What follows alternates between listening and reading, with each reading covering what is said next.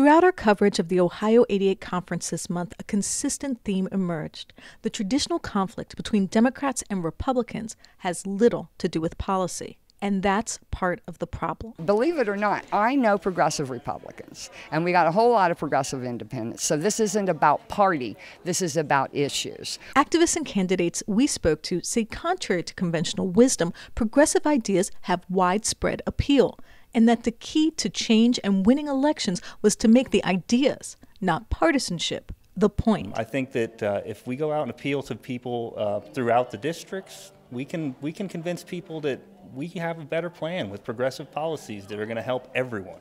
Medicare for all, living wages, and racial equality.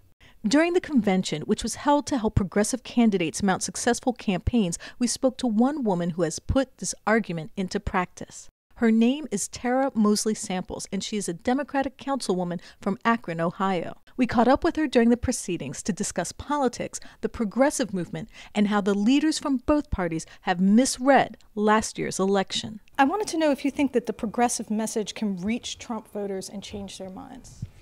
I think it's already started reaching his voters. I, I, think that what they thought they were getting with Mr. Trump is not what they're getting, and so they're looking for someone who is who is speaking to their hearts and to their wants and to their needs. And I think that they are already, you know, moving more to the progressive side of things. Do you think that progressives should challenge primary conservative Democrats, and should they take the same strategy the Tea Party used to target moderate Republicans? I think everybody should have a primary if you're not doing your job. That's just my personal belief. It's, it's part of our democratic system people have the right to run, and if you feel that you can do a better job and you think that your platform meets the wants and the needs of those constituents, I think everybody should have the opportunity to run. How is the progressive movement going to avoid the co-optive influence of campaign financing, which is often overwhelmingly controlled by the richest corporations and super PACs? Right. I think we are now entering a stage within our uh, voting system where they're putting people over money and over politics because they want people who are actually going to do the things that they say that they're going to do. Um, we've had millionaires run for office before and spend millions of dollars and not win seats. So it's been done, and I truly believe that eventually the people will outweigh the power of the of the of the money. Absolutely. Do you think that Democrats should push for a single payer system now that the Obamacare repeal has failed? Absolutely. Yes. Simple. Yes. Fair enough. Black women have the highest voter turnout of all women, and they consistently vote Democratic. What is this new progressive movement going to offer women and black women in particular? Well, my hope is that it will allow them to see that their voices matter and that their voices count and their vote matters and their vote counts. And to not just follow someone blindly just because of a party affiliation. Because just because someone's a Democrat or a Republican doesn't mean they speak to your wants and your need. And I think having this new progressive movement there, it will allow a lot of them to shift from there because you have a lot of women, African American women, who will say, oh no, I only vote Democrat. But then if you ask them, well, why? Why are you supporting this candidate? And they'll say, because they're a Democrat. And I think this will allow them to transition from. I think this election cycle because of all the things that have happened and us watching our country unfold the way it has, I think it is allowing a lot of them to shift to being more independent and actually taking the time to actually look at the candidate and not at the party affiliation. There's a growing sentiment that the Democratic Party takes the black vote for granted. Some critics even say that Democrats have failed black voters in cities like Baltimore. What's your response to those critics? They do and they have they have for quite a long time.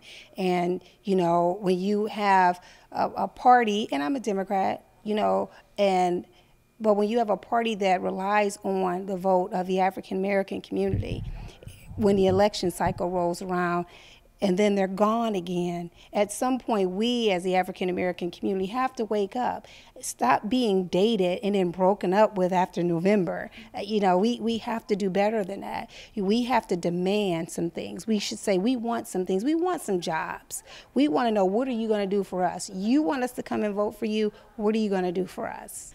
Some say the problems facing our country are class issues, that it's based in unregulated capitalism. Others say it's a race issue. First and foremost, the exploitation is based in racial bias. What's your take?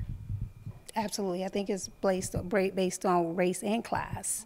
Absolutely. And I think a lot of it has to do with because people are in these silos with one another, patting each other on the backs, and that good old boy network never helps.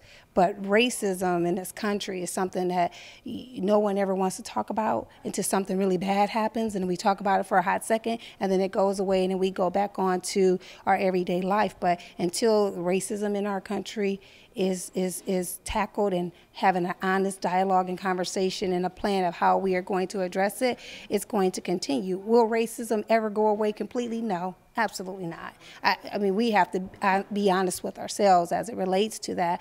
But when you have a system built on you win these seats because of minorities but it's the very same minorities that you won't even speak up for or defend or do things for. We have some issues that we need to address and some things that need to be changed. Do you think there's a new groundswell of progressivism? Do you think that there really is a change happening? Oh, absolutely. And and this is just piggybacking off of the People's Summit, and, and just to uh, watch, uh, you know, Senator Sanders name of all these individuals who were part of the revolution. People who are who are progressives, who are grassroots people, who have won seats.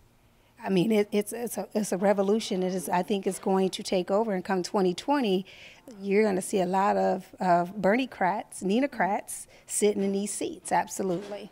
So, what do you think about the idea of a Turner Sanders or Sanders Turner ticket?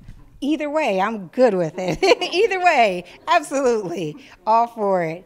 This is Taya Graham and Stephen Janis for the Real News Network reporting from Deer Creek, Ohio.